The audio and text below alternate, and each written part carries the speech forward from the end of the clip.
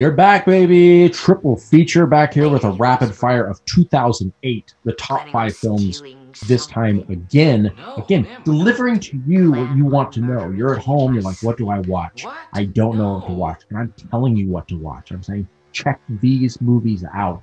You will love them. And if you don't love them, you're a Nazi. All right. Number five. Number five is The Dark Knight. Now, this is Christopher Nolan. I again, this movie, uh, probably the best Batman movie that exists, Dark Knight. Um, it's only brought down a little bit by some other some other weird stuff. I'm not a big fan of the ending with the whole boat thing and all that sort of stuff. People get all like, like we're the, we're overcoming the bad or something. I don't care about it and sort of that. But again, this this has the Joker, and I think everybody pretty much agrees it is the greatest acting job for the Joker and one of the greatest acting jobs I think just of all time of having this sort of villain. It just takes the movie up so much it's hard to explain. It's worth watching just for that. Number four, Synecdoche, New York.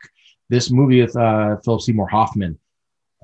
Uh, yeah, it is a weird, weird, weird one. It's hard to explain. This guy's like building this thing and he's building his life and he's building in plays and people are playing people that are playing people and people and it just keeps going deeper and deeper and deeper and deeper. It's a movie to immerse yourself in.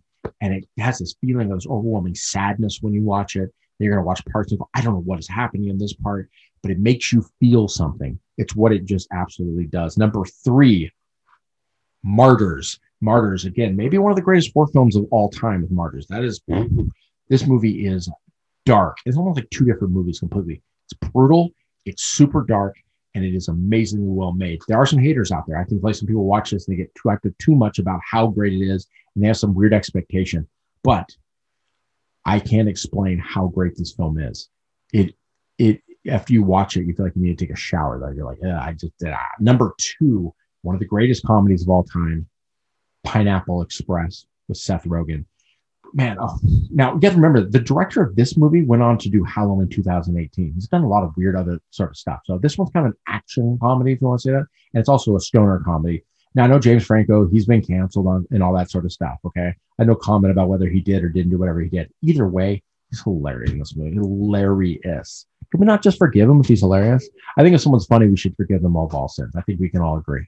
Number one movie of 2008 in Bruges. This movie, when I saw the trailer originally, I was like, this movie looks so stupid. I just wrote it off. And then all of a sudden I saw it win the Golden Globe for Best uh, Comedy Musical. I was like, what? That movie, the movie that, that sucks with Colin Farrell? Why would anybody watch that? So I finally go, okay, well, I'll just check it out since that is wow, wow. Again, it's a dark, dark comedy, and there's action in it, and it just it throws you for a loop. Don't be if you've seen the trailer for this and you say it looks dumb, don't listen to the trailer. Watch the actual movie. Watch it. When Colin Farrell goes midget and he wants forward, I knew I was like, we're dealing with genius right here. Rapid fire. I like that. No, ma'am, we're not. Plan on murdering me in my sleep. What? No.